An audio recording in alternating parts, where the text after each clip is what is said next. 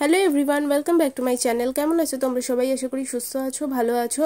আর আগের ব্লগে তোমরা তো দেখেইছো যে আমি গেছি তারাপীঠ। আর তারাপীঠের অলরেডি দুটো ব্লগ আমি শেয়ার করে দিয়েছি। আমার চ্যানেলে আপলোড রয়েছে। যাও গিয়ে এক্ষুনি চেক করে এসো। আর যারা নতুন, তারা কিন্তু আমার চ্যানেলটাকে অবশ্যই সাবস্ক্রাইব করে দিও। আর ভিডিওর লিঙ্ক আমি ডিসক্রিপশন বক্সে দিয়ে দিচ্ছি। এখন রয়েছি তারাপীঠের বড় রাস্তায়, যেখানে রথে করে মাকে নিয়ে বেরোবে। এখন বাজে পাঁচটা কি সাড়ে পাঁচটার মতন। এখন শুরু হয়ে গেছে বাতাসার হরিলুট সবাই বাতাসা কুড়োচ্ছে রাস্তার মধ্যে। আর দূরে মায়ের রথ দেখা যাচ্ছে।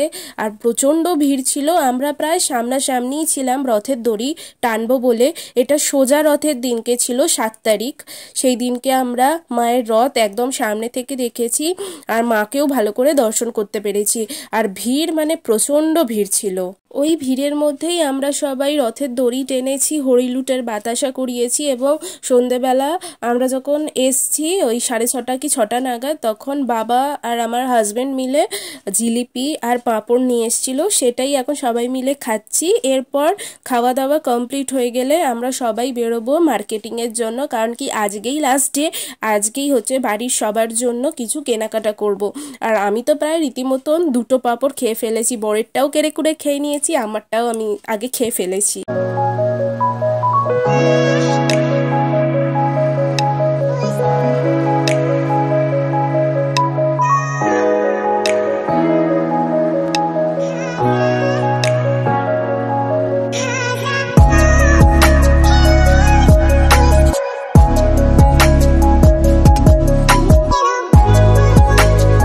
দাওয়া কমপ্লিট করে আমরা মার্কেটিং করতে বেরিয়ে পড়েছি। আমার শাশুড়ি মা বাদে আমরা সবাই এসছি। আর একটু এগিয়ে গিয়েই দেখলাম একটা সুন্দর হারের দোকান বসেছে। সেখান থেকে আমার মা আমাদেরকে একটা করে হার গিফট করল। আর তার সাথে আমার দিদির পছন্দ হয়েছিল চাবি রিং। সেই চাবি রিংটা আমি গিফট করেছি আমার দিদিকে রেড কালারের একটা ডলের ওপরে চাবি রিং। তো এইসব দেখতে দেখতেই আবার এগিয়ে গেলাম আরও একটা দোকানে। সেখান থেকে অনেক কিছুই পছন্দ হয়েছিল কিন্তু কিছুই কিনিনি, কারণ কি দামগুলো একটু বেশি বলছিল। আমরা যেখানে কলকাতায় কিনি, তিরিশ করে, কুড়ি করে, সেখানে পঞ্চাশ, ষাট এরকম দাম বলছিল। তো যাই হোক যার যেরকম ভালো লেগেছে, সে সেরকম মার্কেটিং করেছে। এবার হচ্ছে আমরা শ্মশানের দিকে যাচ্ছিলাম আর যেতে যেতেই এখানে বামা নিকেতন বলে একটা জায়গা আছে, সেখানে দাঁড়িয়ে দর্শন করলাম। তারপরে প্রচুর পেতল কাঁসার দোকান রয়েছে। খুব সুন্দর সুন্দর মূর্তি, খুব সুন্দর সুন্দর জিনিস বিক্রি হচ্ছিল এইসব দেখে আমরা সোজা চলে আসি শ্মশানে এবং আদি মন্দিরে গিয়ে আমরা একটু প্রদীপ ধূপ দেখাই, তারপরে শ্মশানের ভেতরে যাই।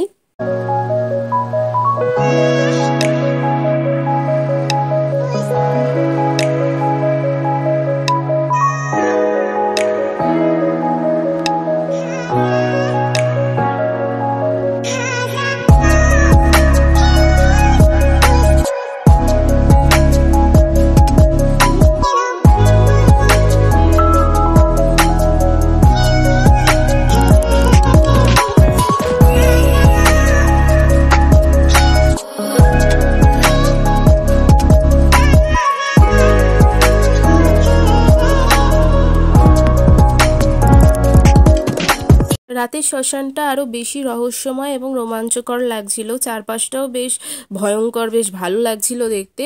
দেখে আমরা ফিরে আসি ধর্মশালায় এবং ডিনার করে আমরা শুয়ে পড়ি, কারণ কি পরের দিন সাড়ে দশটায় আমাদের ট্রেন ছিল।